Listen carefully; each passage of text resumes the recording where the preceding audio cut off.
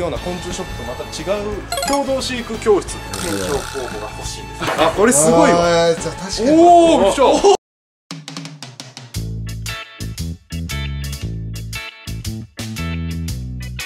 はいどうもこんにちは。みおりです。いつもお世話になっております。そして今回のカメラマンが。岡さんです平岡あ平岡さんかいや花火みたいごめんなさい何今花火になっちゃった。あとクオリティが。いいやいやなんてこと言うんだよ。本気でやっていいですかじゃや本気でやっていいよ。あ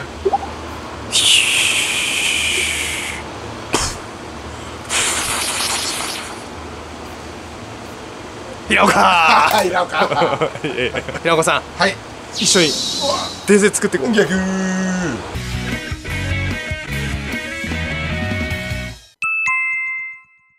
なんと。はい滋賀県に来ております。滋賀県です。はい。滋賀県のね滋賀県方にお邪魔してまして、ええ。はい、京都まで新幹線で行ってそうですね。そこから、新快速に乗ってはい。えー南草津駅の方にはい。行きまして、はい、今回ね店舗紹介のご依頼をいただきましてありがたいことに。ありがとうございます。はい、いやありがとうございます。その店舗が、まあ、滋賀県にあるということで、はい。はい、そこに来ております。実はこちらにあるんですけど、ございました。ははい。はい、ヘラゾウさんですね画像さんですね。ヘラクレスとゾウカブト。はいだからヘラゾウかなっていう感じの。カブトムシ専門店、共同飼育教室。共同飼育教室っていうね。ね、うん。はいはい。まあちょろっとお話しさせてもらってええ。はいるんですけど、まあそこも含めてね、はい。お店の中で話伺いつつ、はい。店舗どうなってるのかというか、そうですね、はい、店内ちょっと見させてもらおうかなと思ってて。いや楽しみですね、いや普通にワクワクするよね。背景のなんあか普段行くような昆虫ショップとまた違う雰囲気のああ探求心爆爆発。発ああすごい。あ熱中力研究力。あなんかいいね。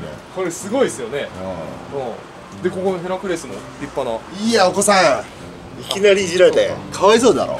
ヘラクレスじゃないだろ。いや謝罪。深々とそうだからまあここが店内あのここは店舗で、店舗ですよね。はい。ねで、まあ、ここでだから生態も販売してるんですけど、はい。このねこの共同飼育教室実施っていうのが何なのかそうですよね。っていうのも気になるところそのあたりい。聞いていきましょうか。はい、ちょっとじゃあお邪魔しましょうか。はい。はい。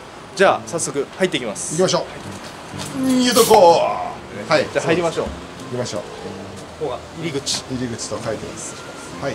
あ失礼します。あおはようございます失礼いたします。あすいません。こんにちは。お願いしますお願いします。お願いします。今回ご依頼いただいたはい。店長さんでございます、よろしくお願いしす。いまますせんお願いいたします。あトーマです。よろしくお願いします。トーマさん。お願いします。これここがまあショップとしてやられてるあそうですね。ところですよはねい。すごい綺麗な。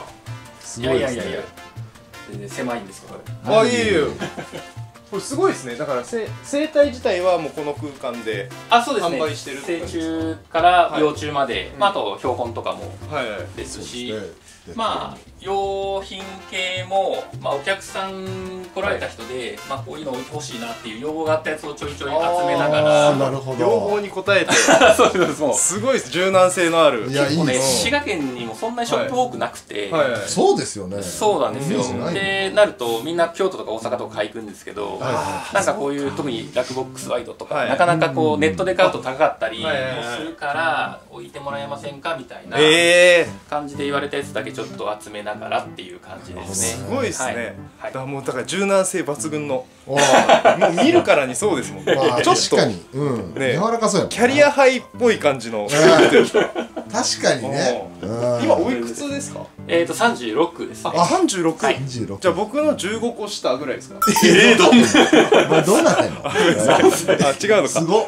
これ。だから僕の5個5つ上ぐらいですね。そうですね。なるほど。すごい、はい。いや今日お願いします。ろしくお願いしまよろすしくお願いしますいやすごい。もう、うん。あの生態がまずちょっと生態見たいんですけど、はい。こことここで販売してるっていうそうですね。はい。こっちにクワガタカブトムシあっていと？そうですね。クワガタか。はいこっちクワガタです。はい。もともとカブトムシをメインにやってはいたんですけど、ちょっとその共同飼育教室っていうのをやってて。あいや共同飼育教室ってちなみにどういった？えっ、と、はい。小学生中学生が、はい。まあ、ここに来て、はい。一緒にブリードをするんですけど、もともと僕塾をやってまして。おー。塾をやってる。でそう本塾をやっ業というのがだからそっちであそうです。うん。本業で塾をやってるんですが、はちょっとそこで、まあ、塾に来れない子たちも支援しようとか、うん。いうのでなんかいろんな団体立ち上げたりもしたけど、おなんかー勉強だけじゃはい火が入らない子供たちっていうのが結構あーわかります。いるね。めちゃくちゃ。勉強は嫌だっていうのはありますよね。めちゃくちゃわかる。などう勉強でアプローチしても無理な子とかがいるから、はい。はいなんかそういう子たちはが熱中できる場所を作った方がいいかなっていうのがあはいって、はいはいで、まあ、子供たちって言ったら、まあ、ロボットとかうん。あの恐竜とか虫ですけどそうですね。いやそうですね。まあ、僕も全部好きで、でなってきた時に、まあ、でもロボット教室とかあるしな。恐竜教室難しいかな、はい。でまあ、虫がまあ好きだし、はいはい。あのちょうど子供もカブトムシにはまってたからあでそこでお、うん、始めてうん。っていう風な形で共同飼育教室っていうのをやってて、あはい、今生徒もいるんですけど、はい。はい。まあ、その子たちがね結構カブトムシ最初やってたけど、はい。なんかクワガタもうそそれこそスマトラヒラタとかギラファとかがやりたいっていうのを言うかあら、ーはいはい。ほなじゃあちょっとやってみようか。あまた要望に応えて。すごいですねあそうそうですね。柔軟ですね。確かに言われそう言われてみたらそうかもしれないですね。あそこの生徒さんがこれ飼育してみたいっていうやつを検討してここに今出てる子っていう感じですか？なるほどそうそうそう。確かに表カブトムシ専門って書いてあったもんな。そうですよね。コンセプト触れまくってるっていう話しつつあるんですね。まあそこはもう柔軟にね。まあわかるわなはいうん。クワガタもかっこいいですからね。そうそうなんですよ。うんいろんなクワガタカブトムシいるからそう。その一人一人こう好みも違うんでそうだね。そういった部分で今だからスマトラが多いんですかねここは。そうですね、とギラファと、はいはい。うんですね。やっぱり下ギラうん、こう二股とかちょっと難しいかったりするじゃないですか、在飼育最初結構苦手僕自身がそんなうまくいかなかったんですけど、はいそれも生徒にあのいつもなんか難しいことこそ挑戦しなあかんでみたいなこと言ってたら、おおはいはい。あの生徒が「先生は挑戦しいひんの? 」でもいいね。言われておでもなんか信頼感が見えます。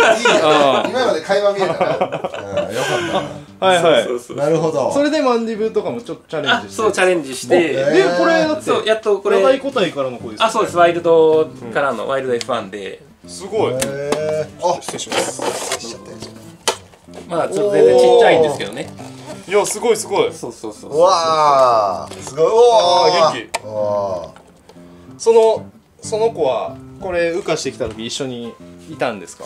えーとね確かいたと思います。おお、はい。ー。うんうんあでもちゃんとできるんだぞっていうのをね。先生の部分を見せて。いいよね。やっぱこう大人ってなってちょっと萎縮しちゃったりするからこう友達みたいな感覚で確かにね。なれるのってやっぱいいっすよね。うん、塾塾の感覚で先生ってなったらやっぱちょっと一線ありますからね、そうそう普通。そうそこが確かにねね挑戦せんへんのみたいな3歳目めっちゃ下手やな。緊張しました。本拠地で。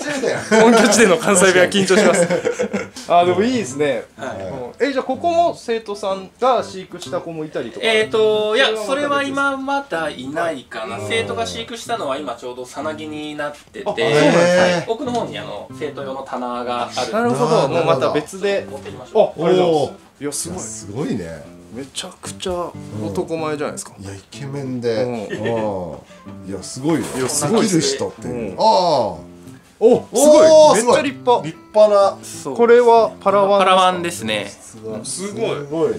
上にちゃんとラベルも。あそうですそうです。これは生徒がはい。あその名前が載ってる。まあいいか。あちょっと名前見えないようにね。ええああでも立派ですね。はいすごい最後 55g おー。あ結構立派。立派な。うわ楽しみですね浮かしてくるときこれ絶対嬉しいやろな。うん。いや嬉しいですよ。禁止詰めるのも生徒が一緒にえーあそうなんですね。とかうん。いやーすごいな。やりながらですね。それでだから命の尊さとはい。かそういう部分も知りつつそうね。やれるっていうのはねいいですね。すごいですね。さすがやっぱこう塾をやっている部分もうんなんかそうやってアプローチの仕方っていうのをねあ考えながらやっぱやられてるんやろうな。それがもう平岡さんの生まれ故郷にあるんですよ今。すごいよ。すごいっすね。なんなかった俺がいた時平岡さんも言ってたのにな。確かにな。生きてる時だったら。通ってたよ。本当に、生きてる時だったらね。生きてるはいるわ。あそう聞こえてなかった。よ ああいいっすね。でこっちここに幼虫ですかね。あそうです、うん。はいなるほどね。あでもいろんな。あーもう俺あ宮山とかあそうですね。はい。プラネットミヤマおおトあれこっちもヘラクレス。あトリニダー電子とかあネプチューンとかね。結構やっぱカブトムシの種類が多いですね。そうですね。確かに。あのアクシデンタリスや。ヘラクレスは一応、まあ、流通してる種類は一通り集めはしました、えー、すげえ。なかなかやっぱ見ないやつ多いですけどね。いやなかなか見ないですよ、うん。はい。ですね。なので、まあ、成虫はちょっとあの今全部はいないですけどああいやいやそれは。幼虫でいうと一応一通り流通してるのは集めて、確かに。だって普通にブルーゼニもいますし。ブルーゼリーとか。いないですからね。あトリニダーデンスとかも久しぶりに聞きましたもん僕。そうねポスターのやつでしか見たことないねほんまに。ははあすごいね。これはゾウカブとか。い、そうですね。これがあのレックスゾウカブトなんですけど、あの今年25年ぶりに、はいはい。あの野外個体があの入荷しまして。あ野外個体。そう、はいはいまあ、はいそれはなかなか入んないですからねゾウカブとして。25年ぶり？25年ぶり。僕がまだ6歳とかの時ですよ。いやすごいね。あそんーなそこそれ以来ぶりに入荷して。そう。それがあの、はアルティメットミカカブクワさん。あはいはいはいはい。はい。はい5匹。5匹だけ入荷したんですけど、うん。はい。でそれをあのあのうちに来ておられるお客さんが、はい。全部総額で70枚以上。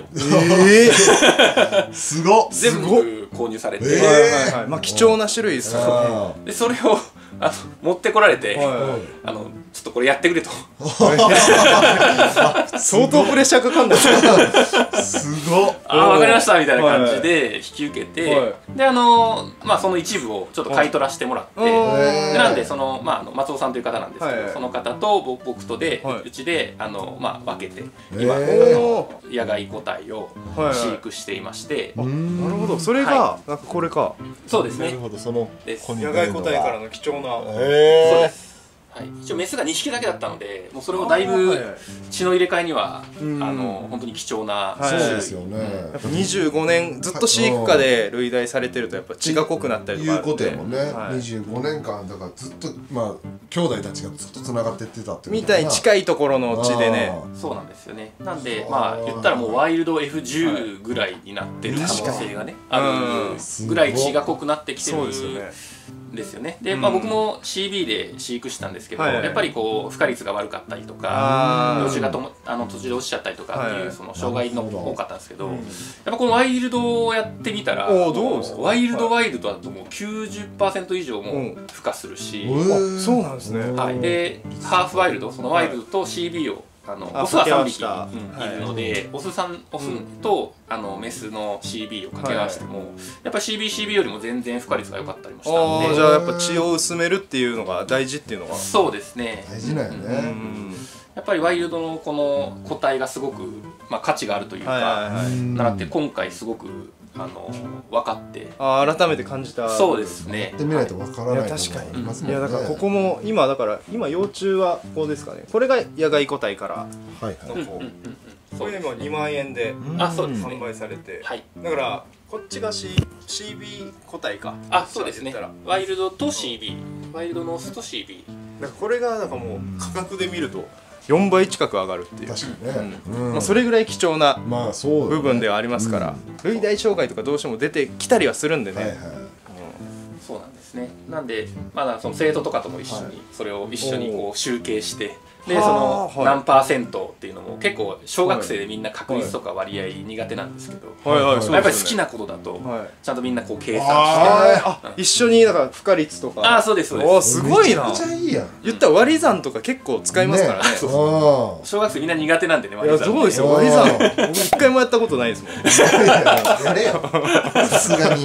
できるやろさすがに。はでもそれでやっぱ生徒たちも、はい。あこれだけそのワイルドその血が濃くなるとうん。どれだけこう大変なことなのかとかうん。分かってくるし、うん。あそれで数字で出てきたらねあ子供も分かりやすいですもんね。すごい。学びながらあすごいね。好きなこ確かに。うカブトムシクワガタにも触れる、そう。最高すごいな。だからもうお金の大切さとかも感じてきますよね。いやそそういった部分とか触れてると。あ実はそれもめちゃくちゃ意識してておおおお金の勉強っていうのはやっぱりあのちゃんと日本人もしないといけないってよく言われるだからその例えば、はい。パ今やってるパラワンとかでも、はい。最初いくらでその成虫を買って、はい。で途中でそのその財がいくらかかったとか、うん。あ禁止ブロックいくらだったとかも意外とかかりますか全部集計して、でまあこれが成虫になって、はい。実際に売りに出して、うん。でプラマイ利益どんぐらい出たのかみたいな。あそれを子供が。ももちろんえすげえ。すごっ。うんそんだからノートに全部集計してるんですよ。えー、すごいっすね。だからこういう値段がつけられるんだ。あそうそうそうそう。そうそうそうあこれすごいわ。じゃあ確かに。おおびっくりしたワイルドそんなかいやいややばいことないのかなワイルドのそして大丈夫なん大丈夫。あこれじゃあこんにちは急にえ生徒さんあ生徒です。あはいうわ生徒の子ー、そうなんやびっくりしたよねごめんねびっくりしたちなみに今俺ら何かわかるえあのクワカブの部屋の。おお知ってくれてる。見て見てくれてる？おい。おいかもしれ伝す説ごい。えちなみにお名前は？え川崎俊介。あフルネームで。ありがとう。俊介くんね。え学校がいい？うん学校がいい。すごい。すごいね。すごいねほんまにいきなりでねびっくりしたなんだと思ったらいや僕ワイルドの俊介くんが。ワイルドじゃないです。は いあ違うか。あすごい。え今から何飼育しに来たの？いやあの来るってしあの聞いてあて。あ教えてくれてたんだ。へえあそれで来てくれたの？あ嬉しい。見に来てくれたの？ありがとう嬉しいね。どう？実物のミモリミなんだは。なんかすごい。すごい。そう。ああんまでもいいうん空とか飛べるからな。いやそんなことない。から飛べない。いいすごそうではなかったけどな。なんかちょっと。確かに。嬉しいねへえあ音広昨日来ないって。そうなの？あ今日はあ。あ友達も来る予定やったの？うんもう一人の他の、うん、生徒がいてて、へでもう一人、えっと3人今いるんですけど、はいはいえはい。来る来るって言ってて、でうん。もうでもう一人は来ない。でもう一人は中学生なんで、あー。まだ学校が。あなるほど。あそうじゃあこの後来られたり。そうそうそうそう。へえちょっと来れないって俊介君はクワカブの部見てる？好き？えー。カメラカメラマン誰が好き？分からへん。あ 素直素直でいいね。これが子供です。今今度から平岡さんって 今度からな。すごい。え先生は好き？いいね。ちょっと恥ずかしい。聞いたことないね。目目見ながら言ってましたからね。うん確かに好きだよなあーいいな。先生もちょっと照れてるから。なんかいいですね。あーいいね。こんな姿にまさか会えるなんて。アットホームなうん。この感じいいな。すごい。ちないみに何のクワガタカブトムシが好きなの？えギラフあおおギラファここにもね。このね。いるからね。でかいもんね。でかくてかっこいいああかっこいいよね。へえ今俊介君はなんか育てたりしてるの？今は、あのギラファの幼虫するってそこに置いてる。あこっちにあるやつなんだギラの幼虫をあ今育ててるんやで。嬉しいやろなこんなのなかなかいや確かに。子供の時であそうだよな。出会う機会ないもんね、いやうんうんうん。いいね。いやありがとうね。俊介君ごめんね。なんか撮影して ね。突然来て。まあ見学して。みて、見てて。うん、うんちょっと。なんか面白いとことかあったら大きめに笑ったりとかしててね。やめろ そんなこと言うのあーすごい。まさかの生徒さんもはい来てくれて嬉しいね嬉しいですね。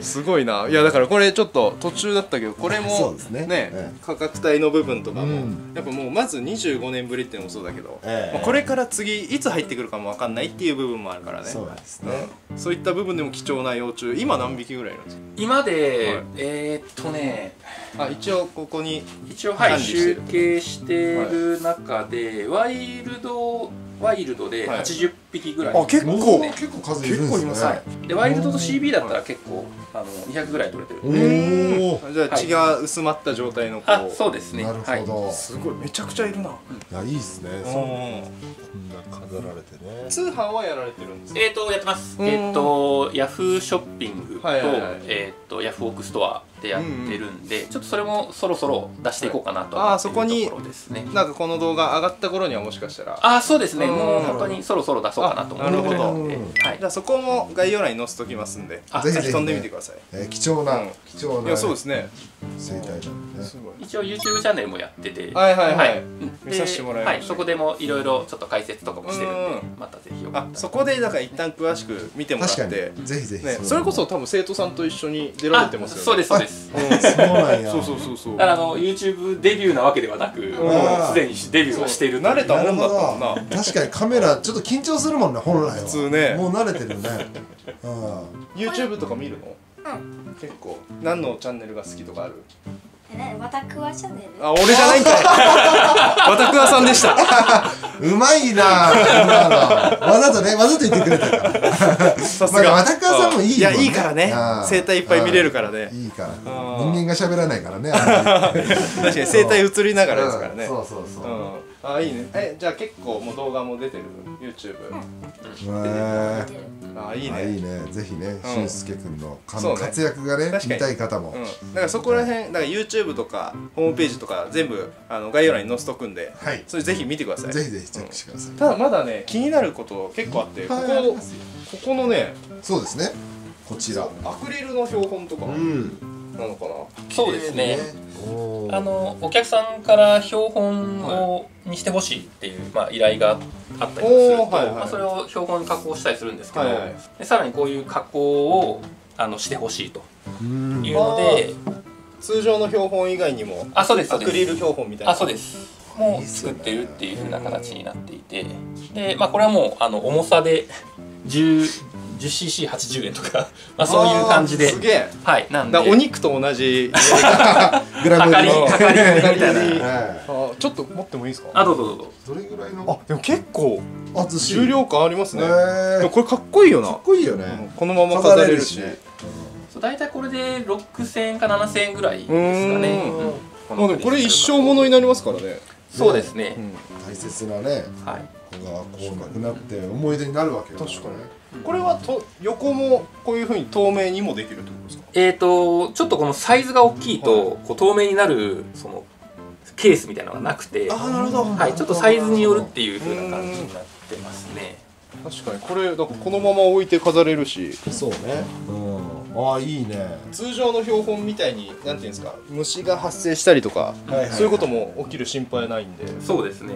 とかちょっとこういうシャンシャンパングラスに入れたりとか、うわはい、ーうわーすごい。もできるという風な形これはいいっすね。これかっこいいね。はい。初めて見た。これ上とか下とかからライト当てたらよりなん確かおしゃれなインテリアみたいになりそうで。なるほど。うん。あこれもあぜひ。吸収される。採用してくださいよかったらすぐ吸収するすぐ吸収する。確かに。すぐ吸収する。うん。やっぱりお客さんにとってそのはい。一匹一匹が結構あの大切に育てた個体だったりするんで,、うん。そうですね。まあ、ちょっと一生残したいっていう人が多いのうですよねそういうのもあのやってるっていうところですそういった依頼も受け付けてる。あそうです。はい。おおすごい。これアクリルの標本。ぜひねその興味のある方そうですね。はい。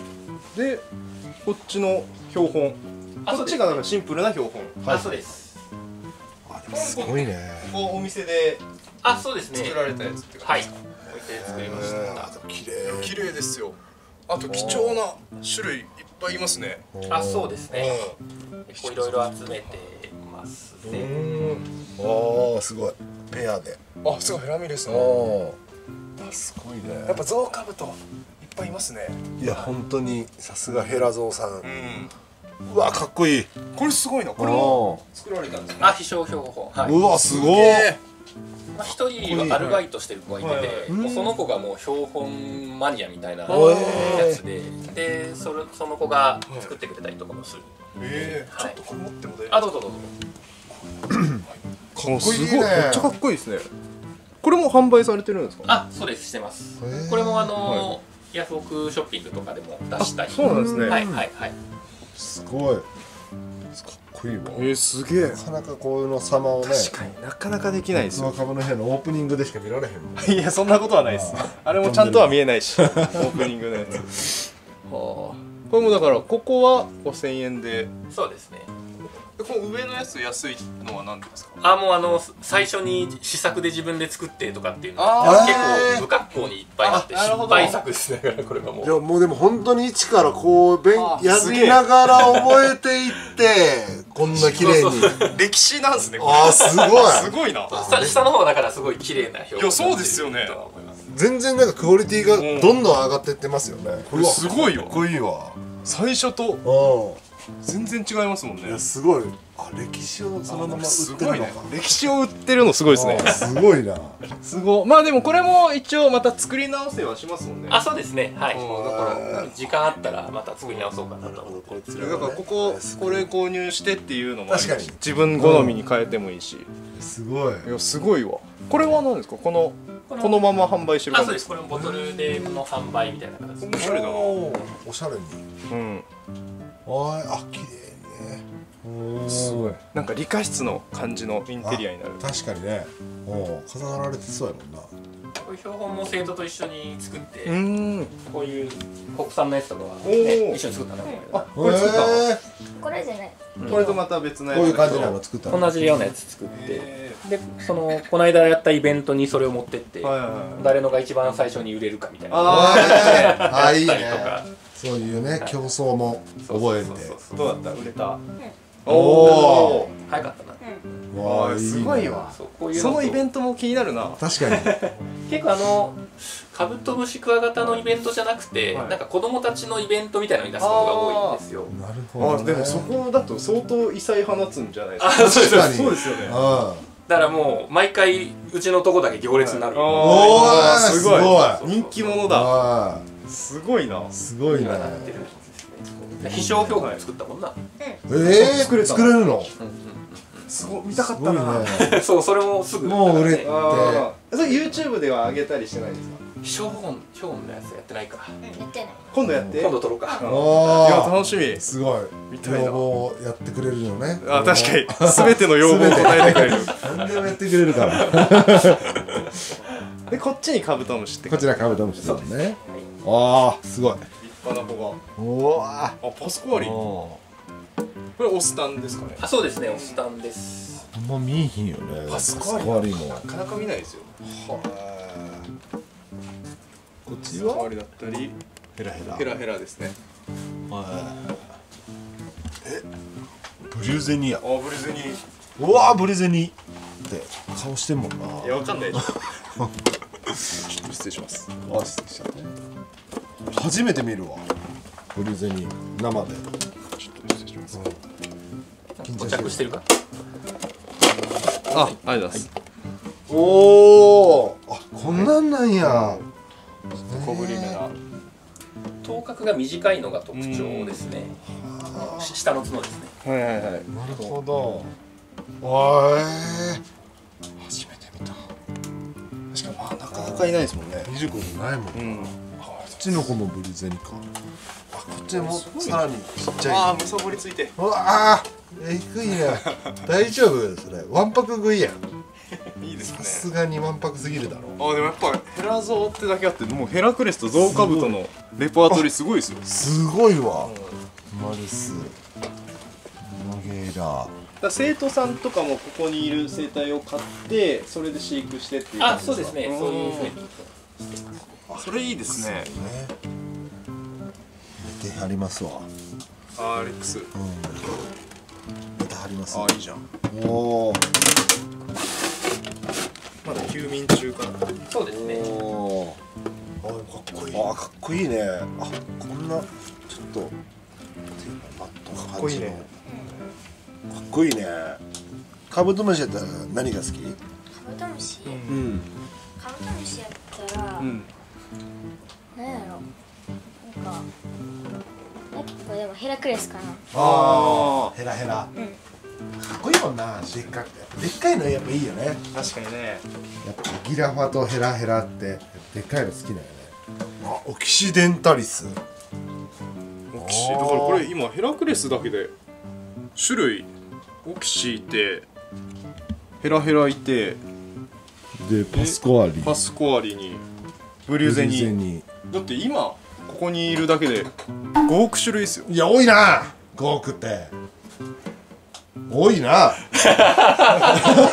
ほら多いなって。うんどれぐらい多いと思う？いつもの例えが。ね逃げいやいやそうもう子供にやらせようとしないから。どれぐらい多いかな5億って。そうダメですから。逃げちゃうんで。せっかく来てくれたのに。確かに怖くなっちゃうもん多すぎる。4種類。でも4種類ってすごいですよ。いやまずせ一応13種いるうちのですからね。それの4種類ん。いるわけやもんね。夏に結構売れちゃったんでうん。そんなリッキーもいたし森森姉妹もいたし。森姉妹？セプテンもいたし。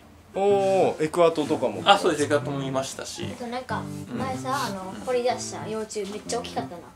あリッキえー、なんだ？ー。ですねあリッキー。リッキーあ大きいんやーあそれも後ろにいるって感じ？あそうです。リッキーがなんか 150g ぐらいのリッキーが。へえね。立派な。いいね。それはでかいねあれは大興奮だったね。全員で「うわーなんじゃこりゃー!」言うて。怖くなかった？最初その 150g とか出たらいやもう慣れてたからあんま怖くなかった。あーよいいね。ああすごいねうん、俺今だに怖いもん。ああ幼虫？手乗せられた迫力のやつ。うん。食われるんじゃないかなと思う。からえでもリッキーだからもうす来年には羽化するって感じですか、ね、あもう多分今年には浮かする。あ今年中に。うわうわ。いいね。えちなみにその幼虫出てきた時の動画は YouTube とかには？は出てないです。ああ見て。やばいやろな。ああだから子供の反応とか見てみたいもんな。確かにね出てきた時の。うわーっていうねリアクションとかも。ああいいね。楽しみだねじゃあねうんリッキーも。楽しみやねいやすごいこれもうすごいここ一角だけど切りないぐらい。いやすごいね。すごいまだ。これちなみにいつから始められたんですか？ここえーっと2年前くらいかな。ここ2年で。うん。こあこまで。確かにね。これからどんどんまたうんいろいろ広がっていったりするんだそうっすよね。これもうだからヘラクレスとゾウカブトメインで最初はやってて。あそうですでねもう今クワガタも結構な種類。ね標本もあって確かに。備品などもであってね、僕自身がまだそのブリード自体は34年ぐらいしかしてないんおでーそれで。まだまだ僕も見習いみたいなもんです。いやいやいやすごいよ。すごいですね。でも信頼されてますもんね。いやもうそうだ生徒に。ね、結構毎日通ってるの？いや毎日でかあの2週間に1回。あ、うん。2週間に1回が一応。うん、なるほど。なあであとはイベントの時に一緒に行ったりーとるあほど。して、うん、店頭に立ってもらったりとか。あ えー、でももうすごいね。2週間待ちきれへんじゃない？結構、うん。もう毎日来たいなと思う時とかある？うんああるあーそうだよな。そうね。あ気になるもんな。あそうですよねできたら僕がじゃなくて、はい。その店長候補今あの、うん。募集してて。あそうなんですね。そうなんですよ。そういうそういう店長候補みたいな店長さんとかがいてくれたら、はい。いまあ、いつでも来れるじゃないですか。確かに。なるほど。はいはいはあーそうそう。僕がどうしても塾経営したりとかはいはい。他のことがいっぱいあそるで,、うんですよねちょっと時間が取れない部分が多くて。いえー、あじゃあもう店長候補を今募集してるあそうですそうですそうです。そうなんだ。ぜひ虫で食べていきたいっていう人いたらおおおおぜひ。ぜひ連絡してほおしい近くの方といかやぜひぜひね。滋賀に引っ越せるぞという方。は 覚悟がある方ね、そうね。えええー、すごい。あいいっすね。あいいっすね。小声で平岡さん俺行くかって言ってなかったです言った、うん、言わないでください。やるかいやいやいや。楽しそうや子供たちとも震えて。確かにね。それいいですね。うん。うん。いでも結は構いいと思うんですけどね。なんかその、別にいいつでもいいんで例えばその、朝起きるの苦手だったら昼から出ますみたいな感じでも全然僕としてはいいですし、もう自由の勤務でいいと思ってるぐらいなんで、うわ俺行こうかな。お前行くんか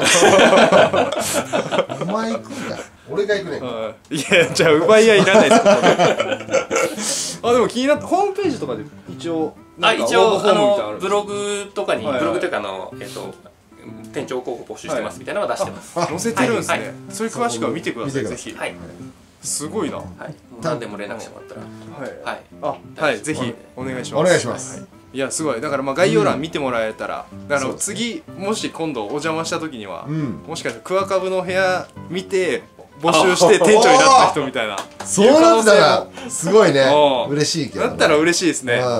来やすくなるしな。確かに来やすくなるかも来やすくなしれないですね。るそうなると。あーすごい。ちなみにまあ一通りこういう感じですかね。そうですね、はい、ちなみにそのちょっと僕まだ気になっててこの、はいはいはい。これあクリスタルカブクワってやつ。何これ？可愛いやつあって。ー、あこんなそう虹色とか。おーあ綺麗やな。大桑とか。光綺麗やわ。うわグミみたい。これはここで作られてる。あそうです。これも、えー？はいえー、あんま見ないですもんね。いやそうですよね。オリジナルってことですか？そうですオリジナル、まあ、型みたいなのがあって、はいはいはい。でそれでそのすごいですね。わいろこいろアクわリル製品みたいなことですか？あそうです。液剤を流し込んでこれも一緒に作ったよ作った？何でも作ってるね。すごいやん。すごいね。工場長？職人じゃん工場長工場長。なのマジかでもなんか胸胸 工場長です工場長フェイスやったわえー、すごいな。これとかも可愛いしな可愛いよインねテリアにもいいし。んな色もあって、でいろんな種類もこれから増やそうと思えばね確かに増え型ていきそうな。が増えればって感じですよね。そうですそうです。うん。うわいいね。